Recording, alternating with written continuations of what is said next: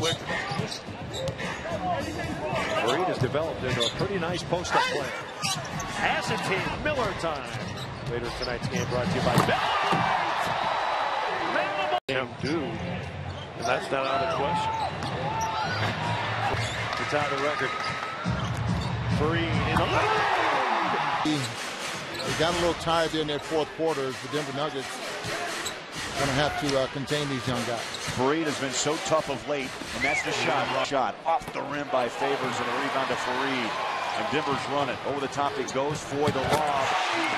Inside. And Faried saw the battle for the rebound is loose. Faried has it.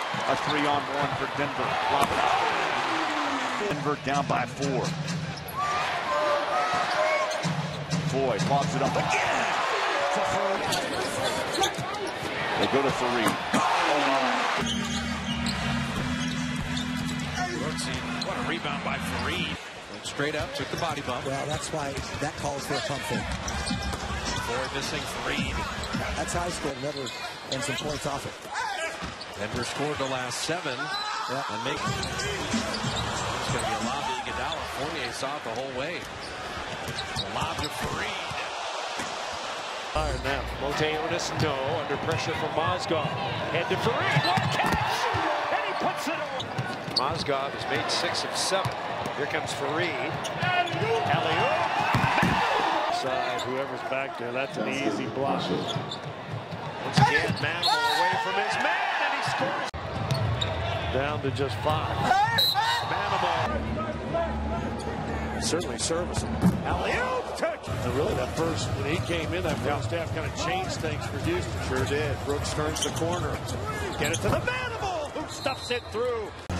Mozgov. Wow, great save. Manimal. Put it on. Yes. So he's a pretty good three-point shooter. Denver the chance to take the lead for Reed. And it didn't look good. And still no official word from the Grizzlies training staff as to his potential return. Mozgov inside to Faried, pulling his way and getting that hook to go. And now, after two fouls on the steamer, Alexia Jensen checks in for the first time. It'll be Faried. Got to step on AD and no about it. Plenty of time on the shot clock.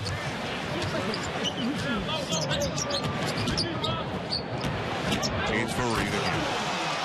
Short jump hook, he missed it. Faried slams it at the other end.